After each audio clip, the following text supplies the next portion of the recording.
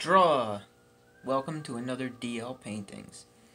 Today, I'm just going to talk to you real quick about my Clint Eastwood painting from The Good, the Bad, the Ugly. Yes, I was wearing my poncho when I painted it. So what I did is I started with my focal point of the hat. I made some dark brown going in the back, fading into the light brown, this way the sun and the light kind of hits at the bottom as your focal point. I use some black around the edge, fading into dark brown, and then the light brown. I, for his poncho, I used a sap green with unbleached white for the details of his design, along with his shirt. In the movie, he did have a white shirt with a blue pinstripe. I elected to go with just the unbleached white. I did give him his signature cigar, and if you look closely, you can see he is lighting that cigar.